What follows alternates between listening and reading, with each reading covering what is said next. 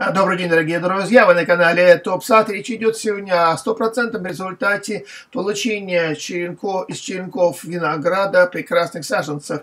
И эти результаты можно получить на любом балконе. Вот сегодняшние результаты мы и делимся с вами. А вначале у нас были черенки, как вы видите, они, в общем-то, ничего особо не представляют. Мы обработали их по осени, сохраняли их или в холодильнике, или в земле. И, используя кельчеватор на воде с уровнем Э, бутылки, о котором мы рассказывали, и в правом верхнем углу будет ссылочка на этот видео, получили прекрасные корни. Э, э, кельчеватор на воде отлично сработал. Ну и естественно, что из этого у нас появились саженцы, а использовали мы стаканы без дна. Начало апреля, начало апреля 2021. А, использовали а. мы эти стаканы без дна, о которых мы вам докладывали вот здесь на кельчеваторе около батареи. Мы сделали так, чтобы температура была где-то 26-28 градусов.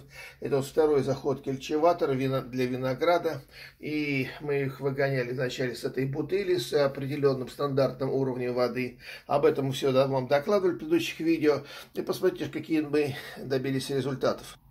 Ну вот из один стаканчика, как видите, он без дна. И а, какое количество, как вам показать, корней на нем выступило. Видите, это очень хорошо. Полноценный стакан, полноценный саженец. Очень удобно. И поливаю это примерно через 10, даже 14 дней. Ну вот, виноград Байконур. Это уже из... Он уже стоит давно.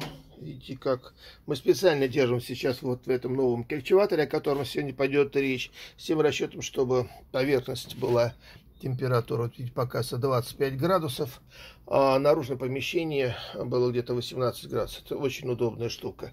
Ну и начиная разговор о самом культиваторе, а, могу сказать, что переход из стаканчиков вот в эти свои искусственные стаканы 20-25 сантиметров без дна дал потрясающий результат. Эффект просто ошеломляющий. Посмотрите, пожалуйста, как, как народ работает и как работает сам подоконник на балконе, который выполняет одновременно нам и основную функцию, и работа и кельчеватор и так далее. Здесь вызревает у нас и хурма, а, и шелковица сейчас есть есть цифамандра. Вот вы видите, как у нас пошла.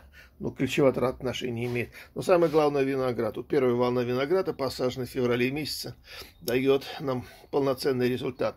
Как мы строили этот виноград, э, этот червятник, э, прошу прощения, кельчеватор, и э, какие результаты мы надеемся получить в ближайшее время. Об этом сегодняшний репортаж. Ну, как видите, вот получился у нас результат. Э, это черенки мы уже разложили по стаканам. Э, результат стремительно показал себя с самой лучшей стороны. Мы начали их постепенно переносить на балкон. На балконе мы поставили вначале их на обыкновенные подставы из фикс прайса по 50 рублей. Но эффект был не очень хороший. Естественно, что мы задумались, как подогреть этот балкон и как сделать так, чтобы э, у черенков была высокая температура у корней, где-то 25 градусов, а наверху, поскольку это апрель месяц, нам не нужна большая вегетация растений. И, естественно, чтобы это было э, достаточно длительный процесс, чтобы к середину мая месяца у нас были полноценные, и у вас в том числе были полноценные саженцы. Ну, росла, мы освободили этот балкон, мы его переделали немного, он у нас был шириной 20 сантиметров. И я решил подставить под балкон, у его увеличить ширину с 20 на 35 сантиметров. Поэтому я прикрепил кронштейны 25 на 20 обыкновенные. Их я сделал буквой э, Z или G, или а, типа зебры и так далее. Они получились у нас вот такого подобного плана. Естественно, что вот видите, мы ну, ширину балкона увеличили, а, а на сверху я положил оставшиеся от ремонта квартиры а, пластины а, для лот Э, для, для пола. Эти пластины очень хорошо работают, они создали жесткость, конструкцию, не опрокидывание, ну, и сверху мы их положили для начала э, наши поддоны из фикс прайса. Но речь пошла дальше, надо было сохранить тепло, и поэтому мы предварительно на эти пластины положили металлизированное полиуретановое покрытие, оно 5 мм толщины. Вот, а потом уже на них положили эти пластины. И вот после пластин мы заказали на Алиэкспресс, э, ссылочка да, внизу, э, подогреватель пола с термодатчиком и с термостатом. Очень удачный, причем э, сам магазин находится, хотя китайский находится в России и поставляет эти а, практически не боящиеся воды а коврики любого ширины, любой длины. Мы взяли 50 а, сантиметров ширины и 4 метра длины.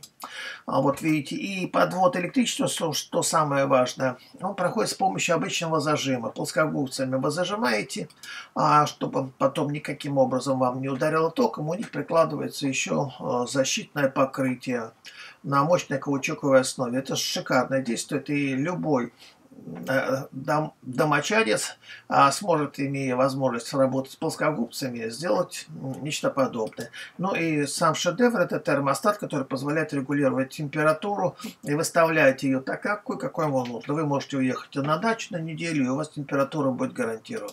Ну, вот таким образом у нас получился вот этот результат, о котором мы с вами хотим поделиться. А, саженцев у нас много, перечни у них оказано будет э, в описании.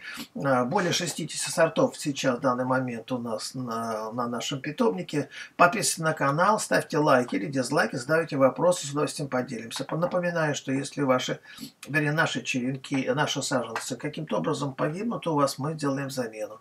Удачи на даче вместе с виноградом в придачу. Это самое главное для нас сегодня задача. Всего доброго!